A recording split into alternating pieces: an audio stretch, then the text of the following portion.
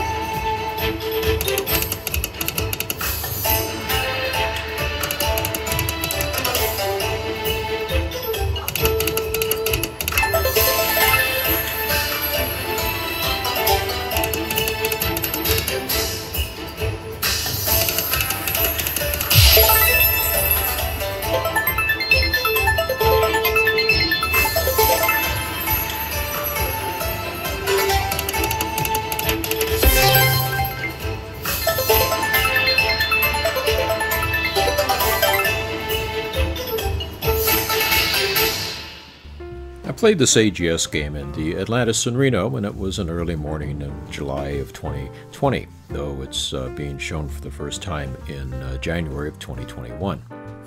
Now, uh, this game is uh, it's one of the less remarkable type of games from AGS. It is uh, fairly volatile, at least it feels that way. Um, and I think that some of the games that they have come out with since have uh, had a little bit more interest in the features. Thank you for watching. Please subscribe so you won't miss a video, and visit our website to learn more about slots and casinos. If you like this video, please give it a like, and we'll also answer your questions and comments.